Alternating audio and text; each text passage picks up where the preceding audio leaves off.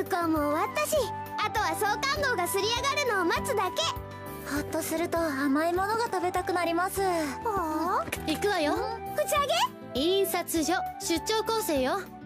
入校したのがあんなにギリギリだったから印刷所の人とやり取りする時間がないの。だから直接出向いて誤字脱字をチェックするのよ。そうだった！みんな行こう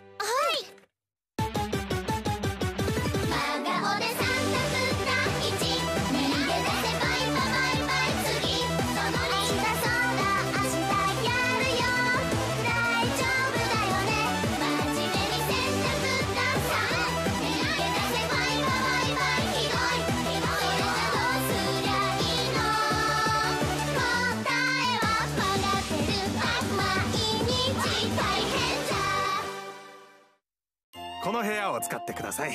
試し刷りは中にありますから。はい。初めてじゃこれは知らないでしょう。記号で指示してくれれば一目でわかるからね。修正が終わり次第半刷りに入ります。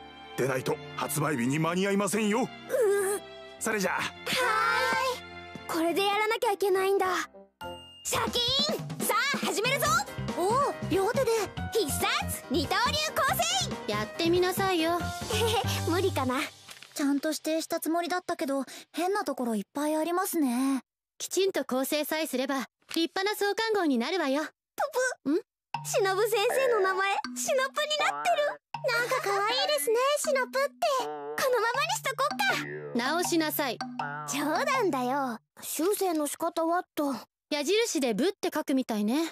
こうするんだ。副兵書体を変えたい時はどうするんですか、大きさを変えるのは教科を詰めるのはどう書けばいいの？何でもかんでも聞かないで。私だってわからないわよ。えでも趣味でやってた時はこんな本格的な構成なんてしたことないのよ。そんな間違ってるところいっぱいあるのに。直し方書いてないものもいくつかありますよ。ちゃんと指示入れないと印刷所の人に怒られちゃいます。どうすればいいの？印刷所の人教えてくれるかしら？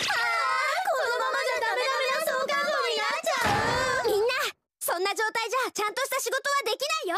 これを食べて落ち着いて。はあちょっと落ち着きました。一杯じゃ物足りないけど。確かにパニックってちゃダメよね。ってあんたえ？ああんたが一番慌ててたんじゃない。さあ気を取り直して頑張りましょう。はい。やっと発売になったわね。はい。なんか感動ですねえ見て見て。どんな苦労をしてもあの笑顔のために面白い漫画を世に送り出していきましょう。はい。立ち読みでなくできれば買ってください。恥ずかしいから気持ちはわかりますけど。創刊号の評判はどうかな？どうしたんですか？グラビア映ってるって。ああまさかの修正漏れまあ記念になるからいっか。何の記念よ。評判はおおむね上々。来月号も頑張